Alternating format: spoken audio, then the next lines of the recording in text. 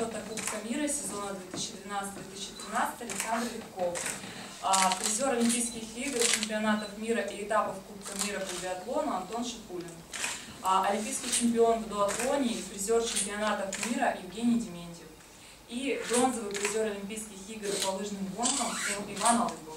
А, В рамках сегодняшней пресс-конференции мы поговорим о программе визита э, спортсменов в Свердловскую область, планах на олимпийский сезон и достижении Александра. Собственно, он получил малый хрустальный глобус по лыжным гонкам в дистанционном зачете Кубка мира.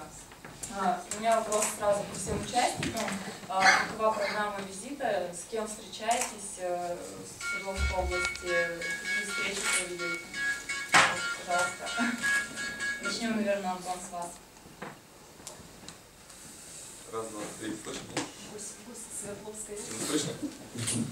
Ну, я не гость, сказать. Да, можно без микрофона. Я не гость Свердловской области, но это для нас очень значимое событие, когда к нам приехал Александр Левков. Мы еще раз благодарны ему за это. Мы такие полуместные уже все, местные полуместные, нас легче сюда вытянуть, но Александр специально приехал сюда ради того, чтобы э, прославить наш город. Показать, э, конечно, это какой толчок, наверное, молодежи. Сегодня мы провели зарядку с утра с молодежью, показали э, небольшой мастер-класс, и дальше у нас планируются встречи э, с молодежью, со спортсменами.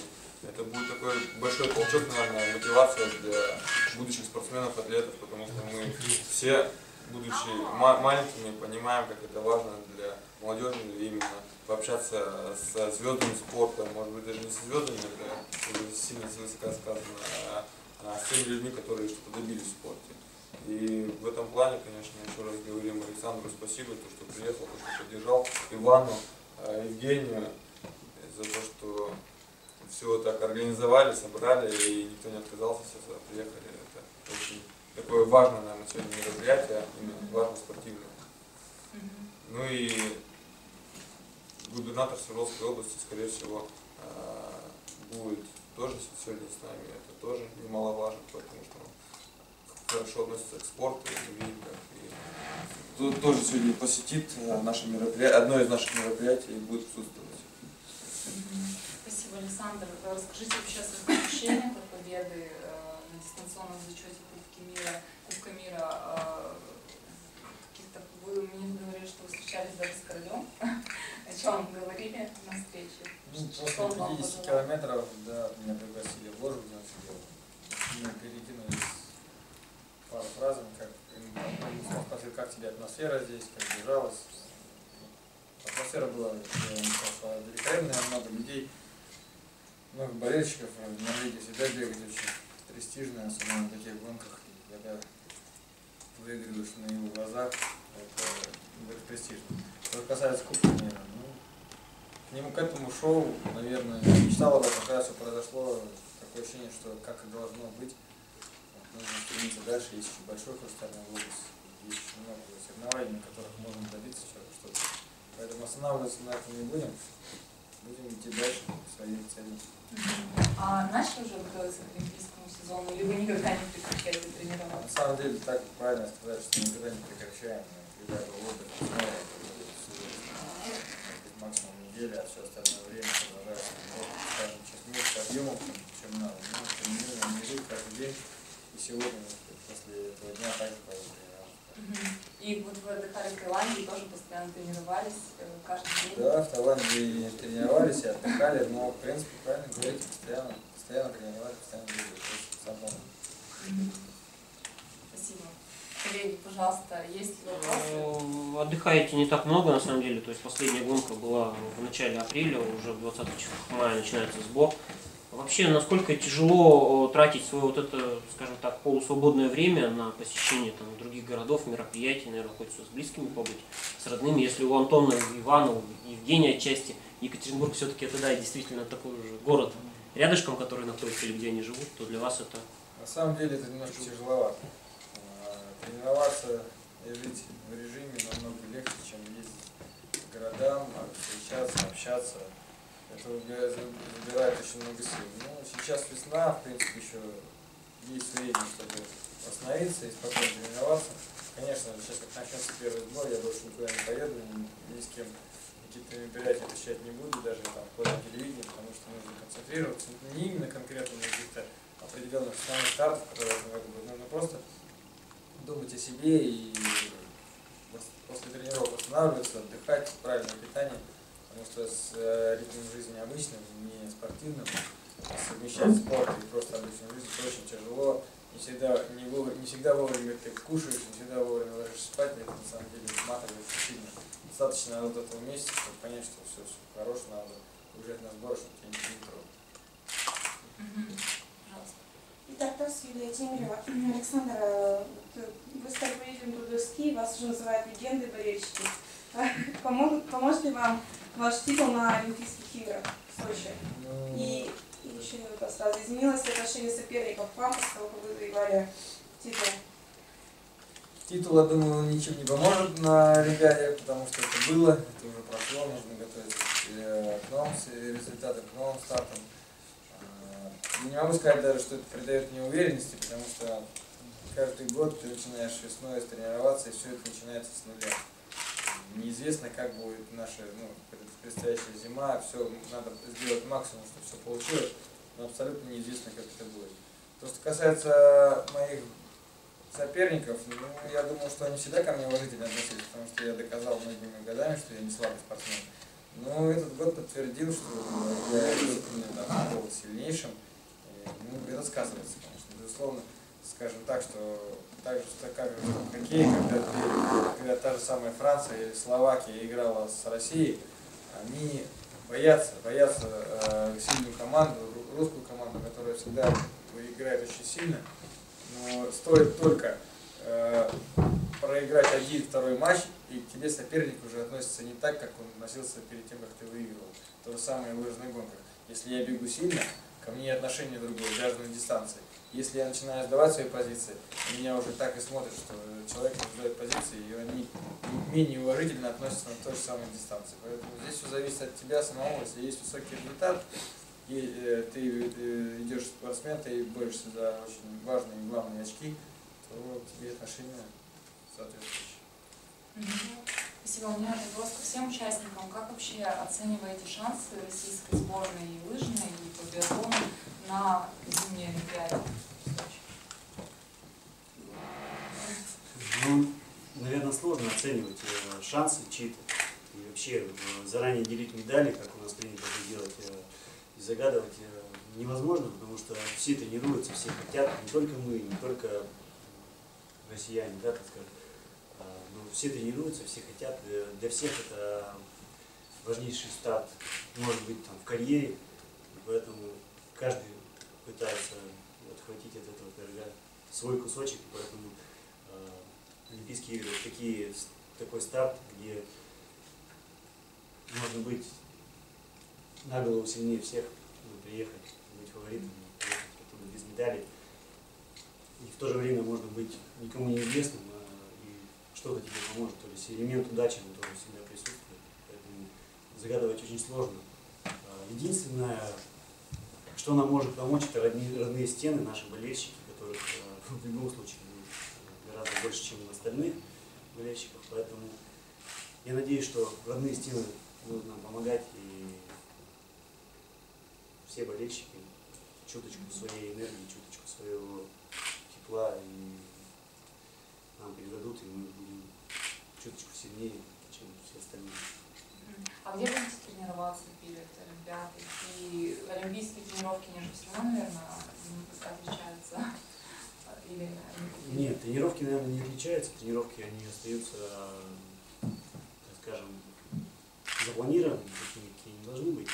Вот. Но и места проведения там, этих тренировок, и сборов и участия в определенных соревнованиях остаются все теми же. а Единственное, меняется, естественно, только настрой. То есть, естественно, это очень большой мандраж, это большая ответственность выступать перед своими болельщиками, перед своей страной. Вот, э, то есть только это кому-то помогает, а кому-то наоборот. Спасибо. Можно вопрос? У меня очень конкретный вопрос к Евгении. А вы готовитесь к сочинской? Да, То есть есть шансы увидеть с глобализацией? да, шансы есть. Спасибо огромное. Большое удачи всем троим. Вопрос, ну не знаю, кого-то из лыжников, из биатлонистов. А, ну, в норвежской прессе, в скандинавской поднимается истерика, вот и в прошлом году была, и в этом, что спортсменов, смазчиков не пускали на олимпийские трассы а, в Сочи, ну, кроме этапов Кубка мира, которые там проходили перед Олимпийской неделей. А, скажите, сталкивались ли вы с подобным, допустим, поведением со стороны тех же ну, норвежцев, скандинавов, шведов, финнов? Вот. И э, насколько вообще важен фактор своего поля в плане изучения трассы, изучения снега? Я отвечу так, что здесь есть большая проблема. Проблема заключается в том, что отношение к лыжным гонкам и биатлону, Норвегии, то же самое, намного серьезнее, чем в России. И когда они проводили чемпионат мира в Осло себя на родине, то они сделали максимальное, максимальное возможное, чтобы их спортсмены выглядели ну, увереннее, чем остальные. И это говорит даже об, о том, что они делали определенный снег именно под свои структуры.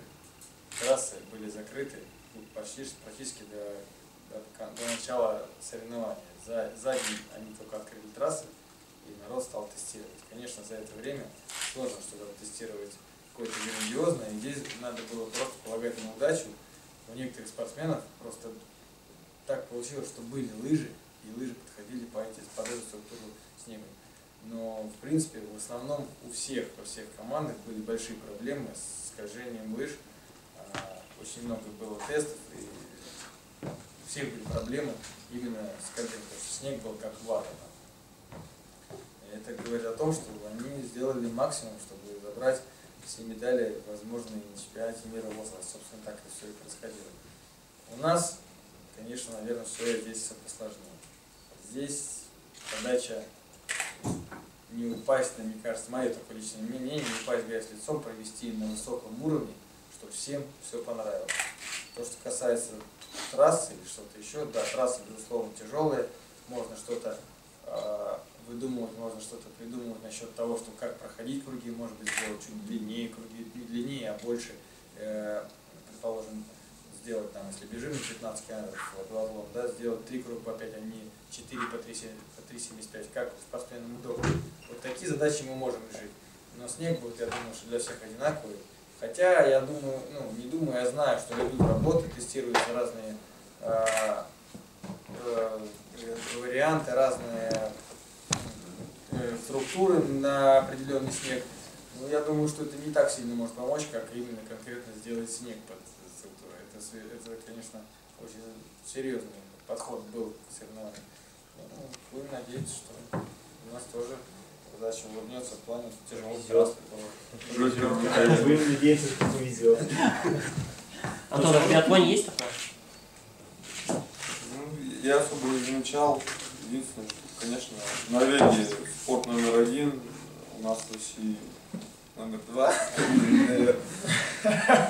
После лыжных гонок, да? после лыжных гонок. Я, естественно, надеюсь, что у нас будет какой-то джокер в рукаве спрятан, потому что хочется надеяться на то, что нам не только стены помогает, но и фактор своего поля нам должен помочь. И я видел, что какие-то идут работы по подготовке лыж, по накатке структур, по не накатке даже, а по, э, по, по структурам, да, и пробуют разные варианты, Будем, главное, надеяться, чтобы это все было впрок, а не так, как э, бывает обычно, что самом- пробуем разные варианты, а бежим На На самом- самом- на самом- на, на, на худшем или на На самом деле фактор, э, фактор своего поля он может сыграть еще и не в пользу. Да, потому что, Потому что это большая, очень огромная ответственность на самом деле. Да, я согласен, что последние года, когда были Кубки мира в России, действительно такое присутствует, что когда проходит в России очень много лыжников российских, было близко, либо в призах, либо выигрывали, и очень большая, э, много спортсменов было там десятки, там, или двадцатки, да, я согласен с этим абсолютно, но не- иногда не было очень, многие спортсмены не приезжали сильнейших в Россию. Э, То, что касается сочинского этапа, да, там в основном практически были все приехали. Ну, хотя все равно отдельных лидеров не было. Вот этот фактор влияет, потому что в России, когда проходит, спортсмены российские выступают неплохо. Но то, что касается, помогают ли стены, я не знаю. Я, я, я не чувствую, когда я был в России, что мне стены помогают. Здесь больше ответственность. а, здесь на самом деле нужно очень серьезно подходить к этим, к этим, к этим стартам, потому что для меня вот стены не помогают. Хотя очень хотелось, чтобы так это было и звучало, что вот в России помогают стены. Здесь намного все серьезнее. Психологически, да, большая ответственность, потому что ажиотаж такой большой создали вокруг э, Олимпийских игр. Ну, это и понятно почему, потому что все-таки в родной стране проходят Олимпийские игры, но а, я считаю, что спортсмены, спортсменам не стоит очень так часто напоминать, что все-таки мы на вас надеемся, мы и так знаем, мы ради этого тренируемся, мы ради этого вообще пошли в спорт, а ради этого сейчас выступаем в сборную России. И вот этот ажиотаж, когда через каждый, каждый день или через день спрашивают, ну как ты хочешь, ну, должны, должны, должны в Сочи, выступишь в Сочи, возьмешь медаль, то есть это все равно идет накрутка и на подсознательном уровне она может всплыть именно в самый ненужный момент именно на Олимпийских играх. Поэтому тут как-то надо уметь абстрагироваться от этого и уметь отодвинуть э, что-то плохое, все эти переживания в сторону и только работать над тем, что ты умеешь. Можно вопрос? А, Ваня, к вам вопрос. Вы совершенно недавно объявили о завершении спортивной Не объявлял. Не объявлял. А, с промахом вопрос. А, э, накоплен большой опыт, нет ли желания поделиться этим опытом, например, поработать в Федерации Свердловска? А, Естественно, я имею большой опыт за плечами, я имею большую практику и по большому счету, в принципе, я занимался спортом всю свою жизнь. И сказать, что я умею что-то лучше, чем спорт и понимаю больше, чем э, больше в чем-то, чем в лыжных гонках, это просто как бы язык не повернется. Естественно, в любом случае я уже решил для себя, что как бы ни сложилась там моя дальнейшая спортивная карьера, я в любом случае буду где-то рядом со спортом, рядом с лыжными гонками, рядом с биатлоном, там, где я понимаю больше всего и считаю, что я все-таки могу где-то пригодиться именно, вот именно на этой стезе. То есть да. То есть да, то есть естественно, когда, когда я закончу уже основательно свою спортивную карьеру, я обязательно Дарья, пожалуйста. На вопрос Антона Шипулина, опять же, касаемо Олимпийских игр в Сочи. Вот как вы относитесь к разделению тренерского штаба женской сборной России? И вот если бы это случилось в мужской сборной, как бы вы поступили и как бы к этому относились?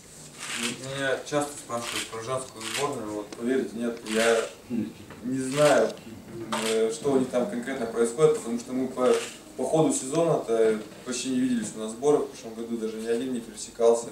А На Кубках мира мы, конечно, разговариваем, со всеми девчонками очень хорошо дружим, но такие там откровенности они нам тоже не рассказывают. Поэтому не знаю, как это повлияет на них, будем только надеяться на лучшее.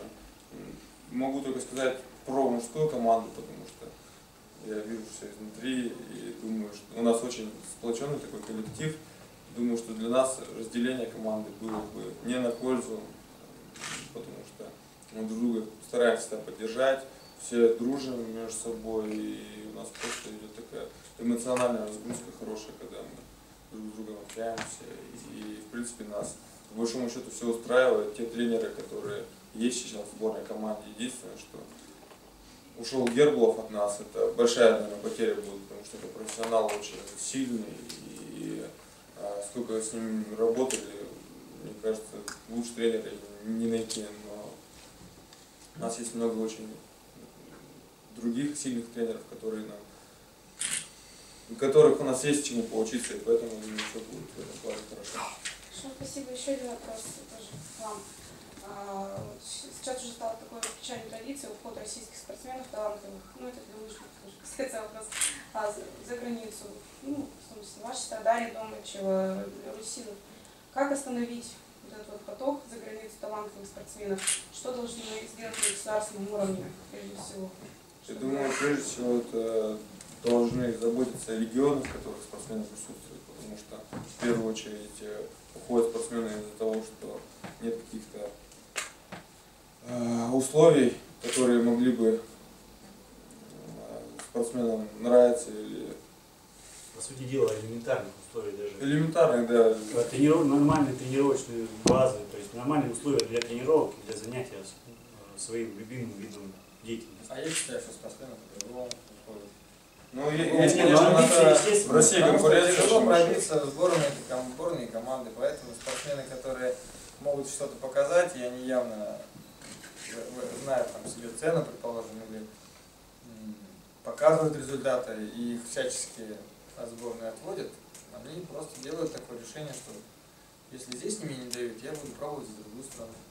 Мне, кстати, хочу задать- вопрос вам по поводу Дарьи Думовича. Я, может, что-то пропустил, а что он раньше бегал бегал в России, да? Нет, здесь ситуация просто, я думаю, вообще простая. То есть, помимо чемпионатов мира и Олимпийских игр, должен существовать какой-то более глобальный турнир. Вот у хоккеистов есть КХЛ, НХЛ и чемпионаты мира, Олимпийские игры. Там у велосипедистов точно так же есть Тур де Франс, еще что-то, то есть, ну, коммерческие, то есть какие-то, то есть министерские, грубо говоря. То есть, если, например, в лыжах или в биатлоне был бы там Кубок России какой-нибудь, ну вот как по типу КХЛ, конечно бы, то есть наши спортсмены так не уходили, они бы, то есть была возможность самореализации. Клубная система такая же, как в футболе, как в игровых видах спорта. Надо понимать, что у нас конкуренция в России очень большая, и за спиной, а, кроме сборной, еще больше ста человек, и на биатлоне, в лыжах, наверное, еще больше. И, конечно, все хотят а, пробиться в сборную команду России, а мест всего там у нас, допустим, 6 мест всего там мира. Ну и те, которые не могут и не хотят ждать, уходят в другие страны, больше. Время идет, года летят, мне уже три. Ну? Есть ли? Информация, а, вопрос, э, потому что люди как раз тему. Как вы оцениваете состояние Да. Ну, тренироваться можно, конечно, но хотелось бы- я там часто тренируюсь. Конечно, хочется каких-то улучшений, хочется, чтобы не именно для меня, мне, я тут не так много времени провожу, а для будущего поколения, для молодежи хочется, чтобы был более сильный рельеф, чтобы э, было больше возможностей тренироваться, имитационные круги. Конечно, это все есть, но это э, не соответствует, наверное, сейчас тому уровню, который показывают другие города. У нас есть к чему стремиться, у нас есть на что заглядывать. То, то, та же Тюмень, Ханты-Мансийск, Чайковский, Ижевск. То есть у нас много регионов. Почему бы у нас в Екатеринбурге не сделать что-то такое серьезное? Тем более спортсмены есть, желание есть. Я думаю, сейчас у губернатора желание тоже есть восстановить э, или восстановить, или построить новый комплекс. И думаю, что в скором будущем у нас все будет хорошо. Я должен тоже добавлю. А, По большому счету база Динамо, э, она является ну, как бы и лучшей, и по большому счету единственной, потому что я ну, не знаю, вот все там были, тебя- ты сегодня вот, э, является единственной базой, э, на которой можно тренироваться профессионально. Э, Хотелось бы, чтобы на такой огромный город, да, на такой огромный регион, их стало больше. Я не говорю о том, что это должен быть конкретно какой-то лыжный биатлонный комплекс, это должно быть многофункциональные какие-то объекты, где зимой бы была проложена лыжня, не знаю, каток, э, летом э, трасса для катания на велосипеде, для катания на роликах, на коньках, на роликах, на, роликах, на лыжах, роликовых. Вот. То есть это должны быть многофункциональные функциональные какие-то комплексы. И хотелось бы, естественно, чтобы их было больше, и чтобы они развивались, а то у нас единственная база, в выходные туда в принципе не протолкнуться.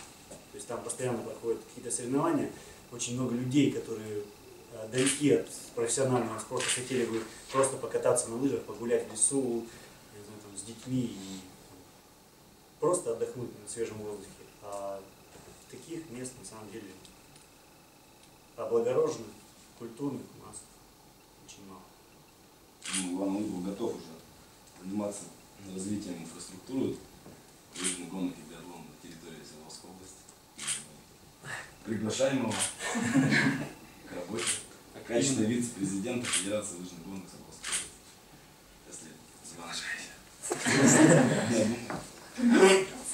Можно вопрос Антону. По звездному биатлону есть какие-то новости? Когда он будет, кто приедет? Мы хотели, конечно, сделать это ежегодное мероприятие, но в этом году решили, что лучше попридержать, э, будем в следующем году, потому что этот год очень серьезный, олимпийский сезон. И общаясь с тренером, с главным нашим, с э, Лопуховым Николаем Петровичем, он напрочь сказал, не то, я вас не то, что на межсборе отпущу на этих, на, на сборе, вас на, на, на межсборе вам не позволю, потому что все равно это отнимает и время, и перелеты, а сезон очень серьезный, поэтому мы решили не брать на себя такую ответственность. Не дай бог, что произойдет на Олимпиаде, а мы тут будем виноваты. Поэтому мы с удовольствием со следующего года будем устраивать такие праздники, потому что это, во-первых, очередь, в, в- первую очередь э, популяризация нашего вида спорта, это приз- призыв молодежи, эти соревнования необходимы, и ничего страшного, если в этом году не будет.